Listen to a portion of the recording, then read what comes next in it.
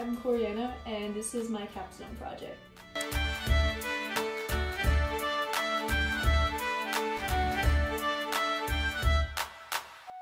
Just to recap the beginning of my presentation, my service-oriented project is based off the inquiry question, how can I use my marketing knowledge to help spread awareness for Scotfest BC? Over the course of this year, I kept with my monthly timelines. I created three poster advertisements, created a mock-up design for the social media platform, researched and discussed with my mentor about suitable places to put the posters for these specific target markets, created a volunteer poster to attract high school volunteers, and as well created online promotions and visual aids. But first, I had to talk to my mentor about the whole process. This is Catherine. She's a current third year UBC business student studying global supply chains. In the past, she has taken Introduction to Marketing in her first year at UBC and has worked as a social media coordinator virtually at Tofino Resort and Marina. This was prone to be especially helpful to me as I learned a few tips to incorporate into my project. Catherine helped me with each step of the project, giving feedback on each work I did. In the beginning months, I created my three posters with a program Canva and asked for her feedback. The three posters were created with distinct colors, pictures, and features, which needed to be discussed with her. The first poster focuses on the young demographic coming to the games, aged 18 to 30. The colors are bright, simplistic, bold, and modern. The main emphasis lies on the entertainment aspects, such as the whiskey tent and live music, but still uses elements of Scottish heritage in the plaid designs bagpipes, and color scheme. The best location for the young demographic around Coquitlam would be local universities, community centers, and coffee shops. I ended up putting the young demographic poster up at Starbucks and at Simon Fraser University. The second poster is to target the older demographic, more than 50 plus years of age. The background shows a bonding experience at the games, uses bold lettering for those of bad eyesight, and instructions on how to use the QR code I created, which Catherine mentioned to do so. The older demographic was a bit more difficult, but Catherine suggested for places such as nursing homes and grocery stores. I ended up going to the local grocery store, No Frills. The third poster is to attract family demographics for younger children. It showcases the learning aspects for the games and the entertainment for a fun family day it can bring. The colors are playful and simple, catching the viewer's eye. The family demographic was best to be put around local playground boards, schools, community centers, and the library. I ended up putting these posters up in Poirier Community Center and the public Coquitlam Library. After driving around the town and putting up posters, I decided to start on the online marketing by redesigning the Instagram social media handle and creating media ad posts. Although I didn't have permission to change the current page, I created a mock-up of what the updated page would look like.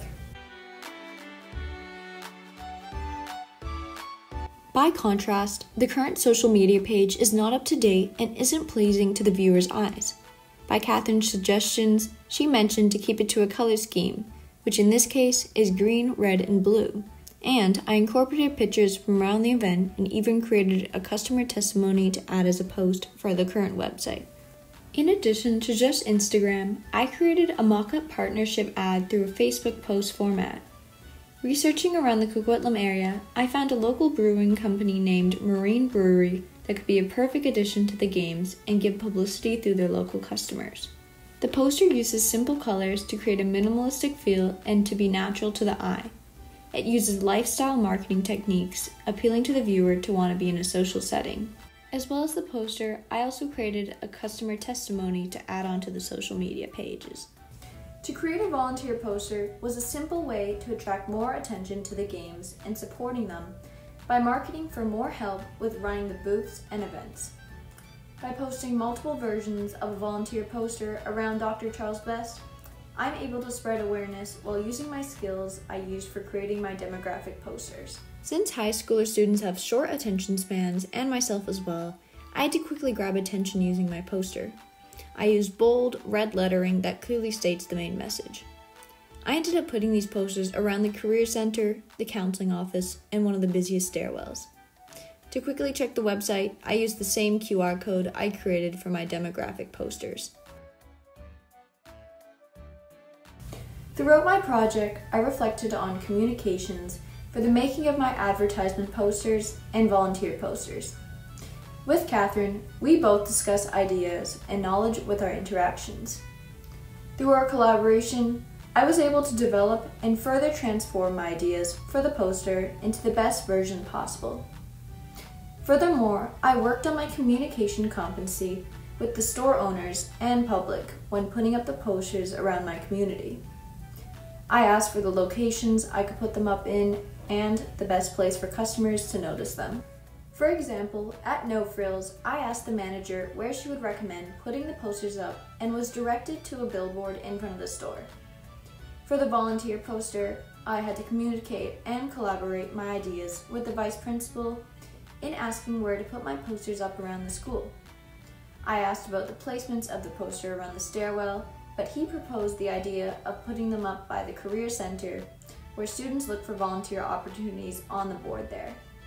Furthermore, I largely had to rely also on the thinking competency, specifically in the creative thinking subcompetency.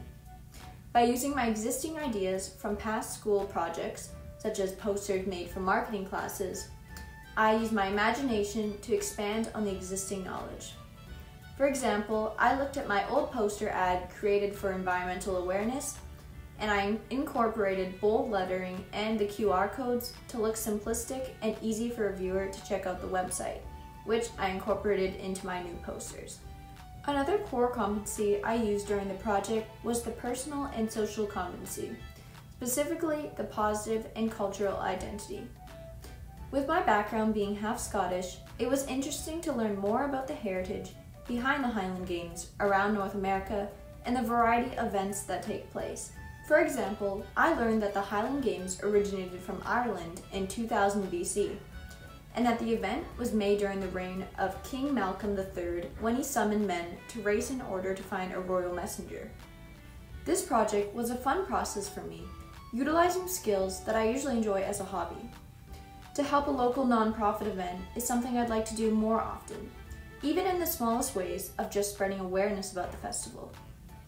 I learned a lot about working with others and receiving and inputting feedback from Catherine, communicating with the public, and learning about the history of a part of my family. Making posters and redesigning social media websites are things I'd like to do in the future, and as a possibility as a side career in marketing. So hopefully one day my capstone project skills will come in handy.